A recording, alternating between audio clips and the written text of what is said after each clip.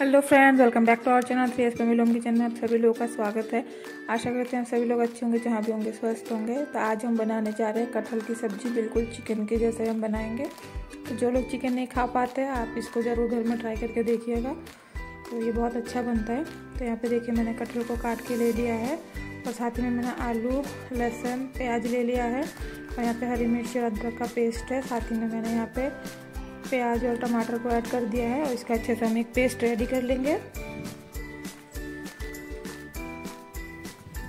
तो मैंने एक पैन में ले लिया है कटहल और इसमें पानी भी है। तो पानी के साथ हमें इसको बॉईल कर लेना है। तो यहाँ पे थोड़ा सा आप नमक डाल देंगे और थोड़ा सा हल्दी भी डाल देंगे ताकि अच्छे से सॉफ्ट हो जाए और ये खाने में भी बहुत बढ़िया लगे। और अगर आप लोग मेरे चैनल पर नए हैं तो ज़रूर से चैनल को सब्सक्राइब कर दीजिए। बेल आइकन को प्रेस करना ना भूलें। बेल आइकन को प्रेस करके नोटिफिकेशन को ऑन कर लीजिएगा। लाइक कर दीजिए, दोस्तों के साथ भी शेयर कर दीजिए और कमेंट में बताइए रेसिपी आपको कैसी लगी। फेसबुक और जो इंस्टाग्राम की आईडी है डिस्क्रिप्शन में लिंक दिया हुआ है, जाके फॉलो कर लीजिएगा। तो यहाँ पे हमारा पेस्ट रेडी हो गया है और आलू और जो कटहल है हमारा, वो भी बॉईल हो गया अच्छे से। तो एक कढ़ाई में हम ले लेंगे सरसों का तेल। इस पर हम डाल देंगे पहले थोड़ा सा इलायची। साथ ही में डाल देंगे जीरा, सूखी वाली लाल मिर्ची, तेज पत्ता, थोड़ा सा हींग और अभी हम इसमें ऐड कर देंगे कटे हुए जो स्लाइस करके हमने रखा था प्याज और लहसुन और सारी चीज़ों को अच्छे से मिक्स कर देंगे और प्याज को सॉफ्ट होने तक हमें इसको पका लेना है। जैसे प्याज थोड़ा सा सॉफ्ट हो जाता है, हम इसमें डाल देंगे मिक्सचर किया हुआ प्याज, टमाटर, हरी मिर्च और अदरक का पेस्ट आप चाहे तो लहसुन का जो पेस्ट है, वो भी इसमें बना सकते हो, लेकिन लहसुन थोड़ा सा आप साबुत डालोगे ना, जब आप इसको खाओगे चावल या रोटी के साथ तो उसका टेस्ट बहुत बढ़िया आता है। तो यहाँ पे सारे जो मिक्सचर है, उसको थोड़ी देर अच्छे से मिक्स करने के बाद, अभी हम इसमें टेस्ट के अकॉर्डिंग नमक ले लेंगे। साथ ही में हम इसमें ऐड कर देंगे हल्दी पाउडर नमक आप अपने सब्ज़ी की क्वांटिटी और अपने टेस्ट के अकॉर्डिंग ले सकते हैं। साथ ही में हम इसमें ऐड कर देंगे लाल मिर्ची पाउडर और कश्मीरी लाल मिर्ची पाउडर कलर के लिए जीरा पाउडर, धनिया पाउडर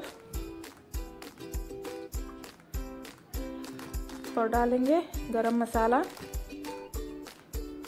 तो यहाँ पे सारी चीज़ों को अच्छे से हम मिक्स कर देंगे और मसालों को भी हम अच्छे से पका लेंगे।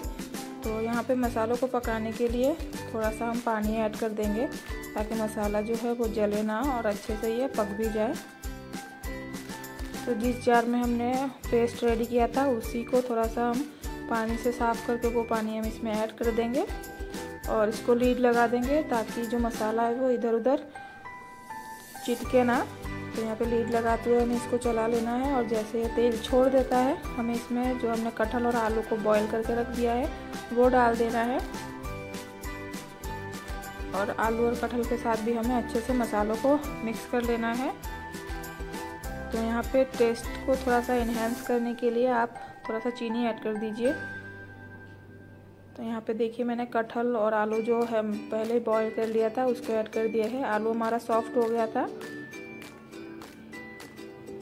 तो यहाँ पे आलू और कटहल को अच्छे से सारे मसालों के साथ मिक्स करते हैं। और उसके बाद हमें इसको दो से तीन मिनट के लिए मसालों के साथ पका लेना है। यहाँ पे लीड लगा देंगे और दो से तीन मिनट के बाद हम लीड हटा के देखेंगे। तो यहाँ पे मसाला अच्छे से मिक्स हो गया है। तो इसको भी हम अच्छे से मिक्स कर देंगे और गैस की फ्लेम को हाई कर देंगे। देन हम इसमें पानी ऐड कर देंगे। आप अपने अकॉर्डिंग पानी यूज़ कीजिए। ग्रेवी पतला चाहिए या फिर गाढ़ा चाहिए। तो यहाँ पे पहले मैंने एक गिलास पानी ऐड कर दिया है। सारी चीज़ों को मिक्स करने के बाद यहाँ पे मैं और आधा गिलास पानी ऐड करूँगी। क्योंकि हमने सारा पेस्ट यूज़ किया है तो जो ग्रेवी है थोड़ा सा थिक हो जाएगा। ठंडा होने के बाद। और इसको अच्छे से हम लीड लगा देंगे बॉयल आने के लिए। तो जैसे इसमें बॉयल आ जाता है